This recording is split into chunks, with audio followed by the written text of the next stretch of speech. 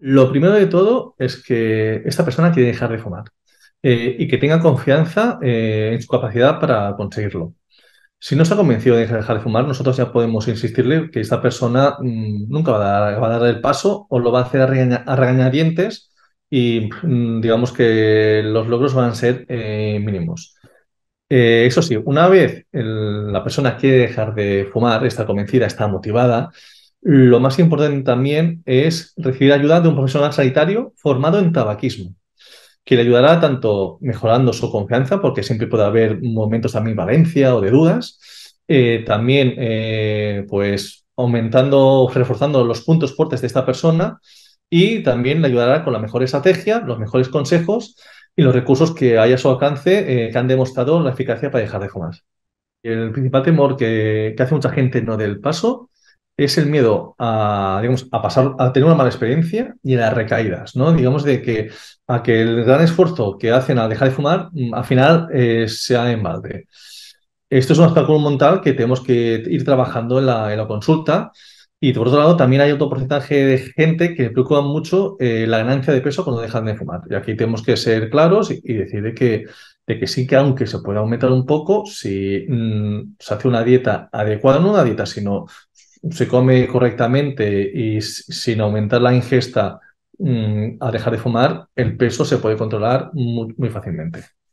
Depende de cómo dejen de fumar. Eh, si la persona deja de fumar sin ayuda, ni de un sanitario, ni medicación, ni nada, eh, solo consiguen dejar de fumar entre 3 y el 5% de personas que dan el paso. Eh, pero en cambio, si reciben ayuda de un profesional sanitario que, está, que se forma en tabaquismo o reciben medicación, este porcentaje sube al 20%. Y eh, si reciben las dos cosas, medicación y ayuda de un, profesional, subimos al 30%, eh, multiplicando por 10, casi por 10, eh, las posibilidades de, si, de la gente que deja de fumar sin ayuda. La organización, digamos que puede variar entre comunidades, entre regiones, entre centros incluso.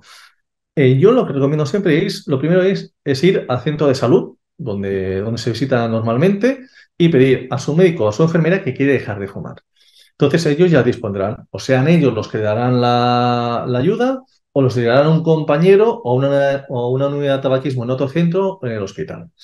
Eh, también mm, no podemos obviar que cada vez más hay más farmacias que, que, aparte de dar el tratamiento, también ofrecen la ayuda, el seguimiento para dejar de fumar y los consejos. Son farmacéuticos que están formados y que digamos que también puede ser un buen recurso si por A o por B no se puede acudir al centro de, salud.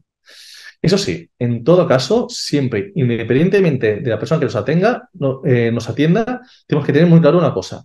Es que, que no se limite solo a dar una receta, un, un, tratamiento, sino que lo que haga es, aparte de los consejos y el tratamiento, es que coja al paciente, lo prepare eh, y, y le haga un seguimiento en todo el proceso de dejar de fumar lo que se aconseja, digamos, de que según una revisión de la salud pública inglesa, vio de que mejor que sean como una herramienta, digamos, un extra a la visita con un profesional. Porque eh, todavía no, no, han demostrado de que su eficacia, digamos, de forma individual. Aunque lo he dicho, son, son bastante útiles. Eh, lo único que han demostrado, eso sí, eh, que son eficaces por sí solos son las líneas de atención telefónica. O sea que si alguien eh, donde vive sabe de algún teléfono de ayuda, pues puede utilizarlo y digamos que va a ser muy similar que acudir a una consulta presencial. Las aplicaciones, digamos que son muy útiles porque dan mucha información y digamos de que lo tenemos, se muy fácilmente. Yo recomendaría dos. Eh, que, están basadas en la evidencia científica y con consejos que utilizamos en la consulta.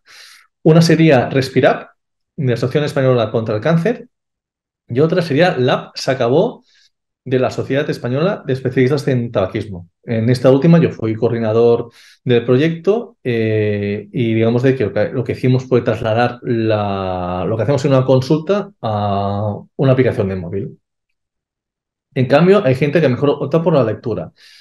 Eh, hay libros, hay muchos libros para dejar de fumar. Está el más conocido por todos, es Dejar de fumar es fácil si sabes cómo, de Alencar.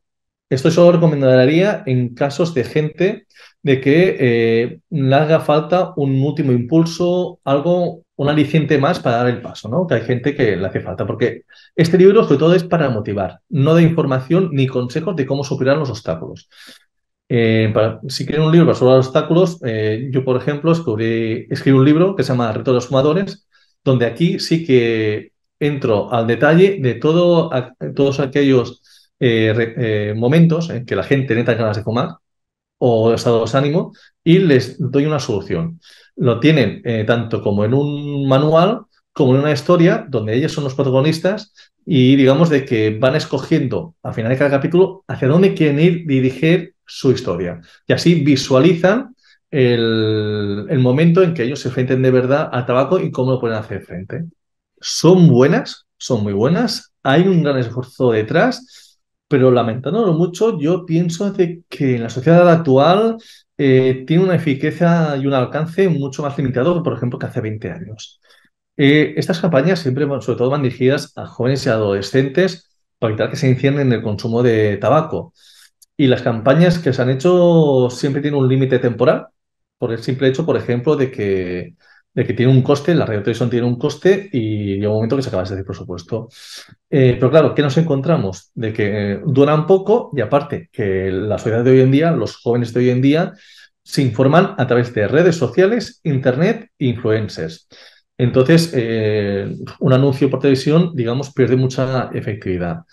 Entonces, eh, yo creo que lo que debemos hacer es, todos los profesionales, digamos, comenzar a interaccionar en redes sociales, a dar nuestra información de forma amena, con rigor, pero de forma amena porque mm, es una manera de llegar mucho más lejos con la consulta. O sea, yo para nada soy un influencer, pero con los seguidores que tengo ya en redes sociales he llegado a más gente eh, a través de redes sociales e internet que pacientes que entienden toda mi vida laboral en una consulta. Eh, entonces yo creo que todos, lo he dicho, ¿no? Todos los sanitarios tenemos que aportar nuestros conocimientos con rigor, pero de forma amena y divertida, sobre todo para buscar una viralización de estos contenidos mi deseo sería pedir más de un deseo, porque con uno no hacemos, no hacemos mucho. Eh, sería una suma de deseos que daría a la perdón, al genio, ¿no? en este caso. Eh, lo que haría, por ejemplo, lo que pediría es mis deseos. Imposición del paquete neutro, o sea, de que el paquete no tenga ningún tipo de marca y que no sea también un producto, digamos, publicitario, que muchas veces los logos y los colores incitan ¿no? a, a, que se miren y a que se compren. También equiparar en todos los aspectos el cigarrillo electrónico eh, a los cigarrillos convencionales, ya sea, digamos, de tanto de publicidad como de limitación de venta, como impositiva. También aumentar las zonas, eh, las zonas libres de humo como las terrazas de los bares, que es muy importante que sigamos aumentando las, las zonas libres de humo en este país.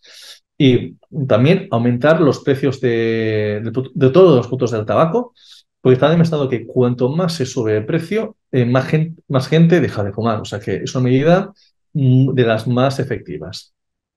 También aumentar los recursos para ayudar a dejar de fumar. O sea, de que se hagan más campañas, que se formen más a los profesionales y que a la población le lleguen mucho más recursos de los que hay actualmente tanto por eso también hablaría de que se deberían financiar todos los medicamentos para dejar de fumar y sin una limitación de, un tratamiento por año como hay actualmente. Por otro lado, también eh, me gustaría que en mis deseos eh, pediría de que hubiera una implicación mayor de todos los profesionales de salud, tanto y también políticos y medios de comunicación en la lucha contra el tabaco. Y por último, también pediría el endgame. ¿Qué, qué es el endgame? pues de una prohibición, una prohibición palotina de la venta de productos de tabaco y las nuevas generaciones que van llegando a la vida adulta. Así es una manera de, digamos, de que se vea también restringida la venta y, por tanto, los nuevos consumidores.